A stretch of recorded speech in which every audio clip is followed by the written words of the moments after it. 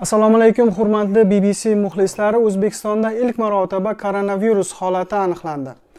Demak 11 mart kuni parijdan uchib kelgan ayol kishi e, asli tibbiyot xodimi ekanligi aytilyapti. O'zida koronavirus holatlari alomatlarini sezganidan so'ng kecha 14 mart kuni toshkentdagi virusologiya institutiga murojaat qilgan va bugun 15 mart toshkent vaqti bilan ertalab soat 6 da rasman unda koronavirus borligi tasdiqlangan va bu o'zbekistonda qayd etilayotgan ilk holat bo'lyapti. Shu munosabat bilan bugun e, bosh vazir abdulla aripov e, zudlik bilan jurnalistlar va hukumat vakillari ishtirokida brifing hamda matbuot anjumani o'tkazilgan. Demak bir qator choralar olingan. Shulardan biri Э, o'zbekistonda ertadan 16 martdan boshlab barcha maktablar oliy o'quv yurtlari o'rta maxsus o'quv yurtlari hammasi yopilishi e, ma'lum qilingan va e, talabalar va o'quvchilar ma'lum bir muddatga ta'tilga chiqariladi va bu muddat ichida o'zbekiston teleradio kompaniyasi orqali o'zbekiston telekanallari orqali maxsus e, darslar tashkil qilinishi aytilyapti. Bundan tashqari 16 martdan boshlab o'zbekiston chegaralarini yopyapti. O'zbekistonga kirish va chiqish taqiqlanadi. Xalqaro aloqalardagi poyezd yo'llaridagi e, qatnovlar va havo yo'llaridagi qatnovlar uch kunning ichida yopilishi aytilyapti va o'zbekiston koronavirus tufayli yopiq bir mamlakatga boshqa davlatlar qatori e, bu dunyoda ilk holat emas bundan tashqari yevropa davlatlarida ham shunday holatlar hozir kuzatilyapti. Yopiq bir davlatga aylanyapti. Bundan tashqari e, hukumat e, yig'ilishida bosh vazir abdulla aripov o'zbekiston hukumati koronavirus bilan e, koronavirusga qarshi kurashish uchun va uni oldini olish uchun yetarli bir zaxiraga ega ekanligini ma'lum qilgan. O'zaning ma'lum qilishicha o'zbekistonda bugundan boshlab tibbiyot niqoblarini chetga eksport qilish to'xtatilgan. O'zadan ma'lum bo'lishicha so'nggi ikki oy ichida o'zbekistonda tibbiyot niqoblarini ishlab chiqarish o'n baravarga oshganligi aytilyapti. Bundan tashqari koronavirus pandemiyasi haqida noto'g'ri ma'lumotlar va asoslanmagan mish mishlarni aholi orasida tarqatgan shaxslarga nisbatan jiddiy choralar ko'rilishi ma'lum qilingan hattoki jinoiy javobgarlikka tortishi ham mumkinligi aytilyapti. Bu shaxslarga nisbatan shuningdek bozorlarda do'konlarda narx navolarni asossiz ravishda ko'tarishga harakat qilganlari va ularni ko'targanlarga nisbatan ham choralar ko'rishi aytilyapti. Bu ishlar hukumat tomonidan doim nazoratga olib e, borilishi aytilyapti. E, jamoat transporti har to'rt e, soatda o'zbekistonda dezinfeksiya qilinadi. Bu haqda ham bugun ma'lum qilingan. Agar ko'cha ko'ylarda shunga holatga duchor bo'layotgan bo'lsangiz demak bu hukumat buyrug'i bilan olingan choralardir. Demak viloyatlardan kelib e, toshkent shahrida o'qiyotgan talabalarning o'z uylariga yetib olishlari uchun ham e, imtiyozlar yaratilayotganligi aytilyapti. Ularga ellik foiz chegirma asosida e, chipta qilib berilishi ma'lum qilingan bugun hukumat brifingida. Va narxlarni asossiz ravishda ko'tarib yuboradigan Э, haydovchilarga kirakashlarga nisbatan ham choralar ko'rilishi aytilyapti. Ya'ni e, aholini vahima qilmaslikka ya'ni sarosimaga tushmaslikka chaqirmoqda e, hukumat. E, demak bundan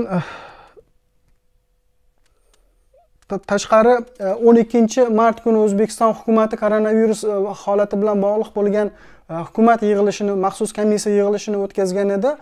Bbcga kelib tushgan Э, hukumat yig'ilishi bayonnomasida o'zbekiston chetdan besh yuzta sun'iy nafas oldirish apparatini sotib olishga buyurtma berayotganligini va bu rossiyadan olib kelinishini ma'lum qilgan. Undan oldin e, sog'liqni saqlash e, vazirligidagi manbalar o'zbekistonda bu apparatlar e, qirq yoki ellik atrofida ekanligini ma'lum qilishgan edi. Hozir bu apparatlarni hozir rossiyadan olib kelishga choralar ko'rilyapti.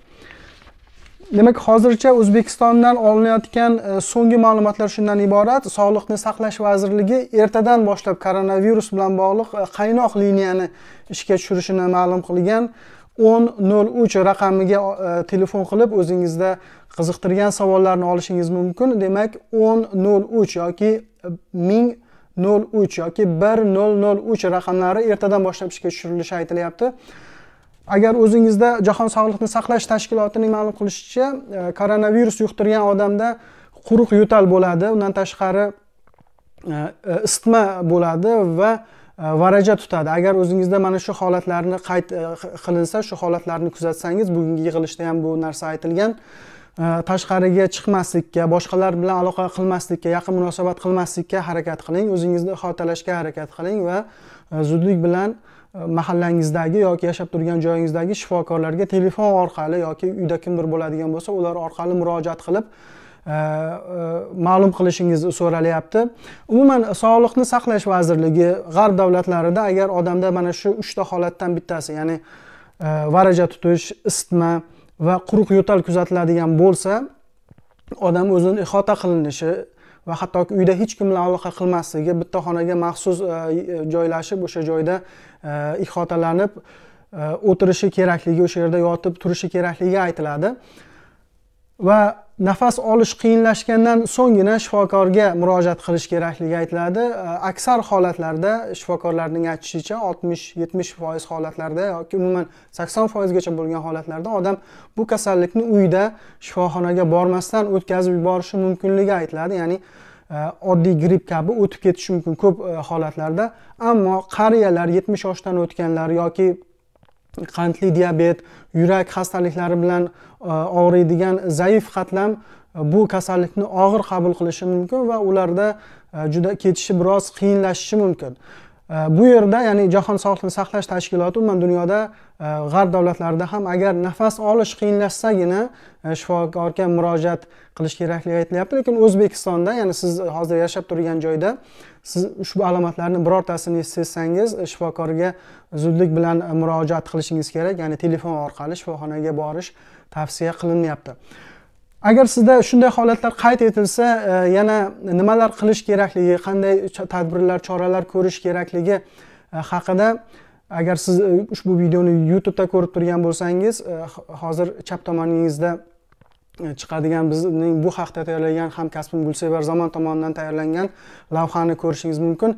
Demak bizni kuzatib borishda davom eting. Bizni veb sahifamizda umuman telegram kanallarimizda boshqa kanallarimizda koronavirusga oid bo'lgan so'nggi ma'lumotlarni tezkor va xolis e, yetkazib berishga harakat qilyapmiz. E, xayr salomat bo'lingizlar o'zlaringizni saqlangizlar.